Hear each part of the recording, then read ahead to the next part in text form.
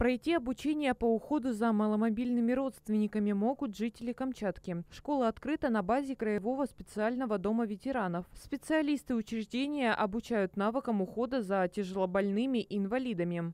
Это форма обучения граждан практическим навыкам общего ухода за людьми, частично или полностью утративших способность к самообслуживанию. Занятия предназначены для родственников, которые осуществляют уход за маломобильными гражданами, а также для самих граждан пожилого возраста и инвалидов, которые хотят максимально сохранить способность к самообслуживанию. Получить консультацию и записаться на обучение можно по телефону 307 388. Как сообщали ранее, маломобильные камчатцы могут получить средства реабилитации. Пункт проката также работает на базе Камчатского специального дома ветеранов. Bye.